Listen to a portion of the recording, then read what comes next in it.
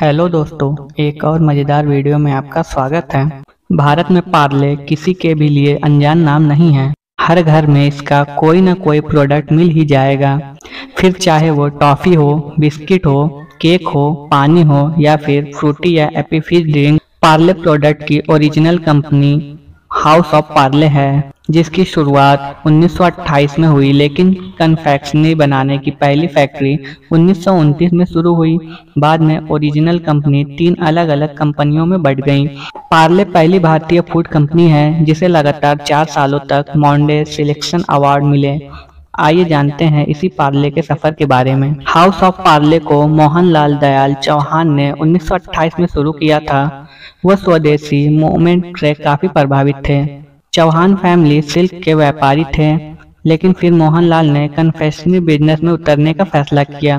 Mohanlal confectionery making की कला को सीखने के लिए जर्मनी भी गए थे। जब वो लौटे तो उनके साथ ज़रूरी मशीनरी भी थी, जिसे वो साठ हज़ार रुपये में इंपोर्ट करके भारत लाए थे। केवल बारह लोगों ने शुरू की फैक्ट्री पार्ले की कन्फेक्शनरी बनाने की पहली फैक्ट्री की शुरुआत उन्नीस सौ उनतीस में केवल बारह लोगों से हुई थी। दरअसल एक पुराने फैक्ट्री को मोहनलाल ने खरीद कर रिफर्बिश किया था। जिन बारह लोगों से शुरुआत हुई, वे फैमिली मेंबर ही थे। अपनी क्षमता और योग्यता के अनुरूप इनमें से कोई इंजीनियर था और कोई मैनेजर था और कोई कन्फेक्शनरी मेकर था। फैक्ट्री मुंबई के विले पार्ले गाँव में थी। इसलिए इसी इलाके के नाम पर कंपनी का नाम पार्ले रखा गया था। कंपनी का पहला प्रोडक्ट एक ऑरेंज कैंडी थी। 1938 में आया पहला बिस्किट पार्ले ने। साल 1938 में अपना पहला बिस्किट पार्ले ग्लूको लॉन्च किया। पार्ले ग्लूको बिस्किट लगातार 12 वर्षों तक भारत में बेस्ट सेलिंग बिस्किट रहा। बाद में यही बिस्किट पार्ले जी कहलाया। कंपनी ने उन्नीस से पचासी के बीच बिस्किट का नाम बदला। पार्ले जी में जी का मतलब है ग्लूकोज। उन्नीस सौ बयासी में पार्ले जी का पहला टीवी कमर्शियल आया। 2001 में पहली बार कंपनी पार्ले जी को कागज़ की पैकेजिंग के बजाय नई प्लास्टिक रैपर पैकिंग में लेकर आई, जो काफ़ी सस्ता पड़ता था। आपको जानकर हैरानी होगी कि चाइना अपनी हर एक चीज़ों को हर एक देश में बेचता है, लेकिन भारत का पार्ले जी चीन में बेचा जाता है और चीन का सबसे ज़्यादा खरीदे जाने वाला बिस्किट पार्ले जी है।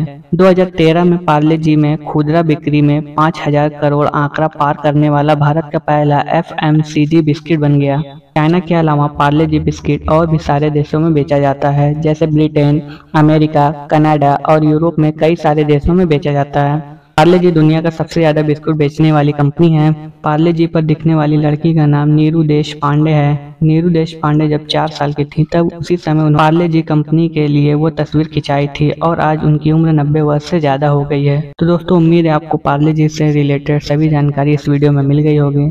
वीडियो पसंद आया हो तो वीडियो को लाइक और चैनल को सब्सक्राइब कर लें।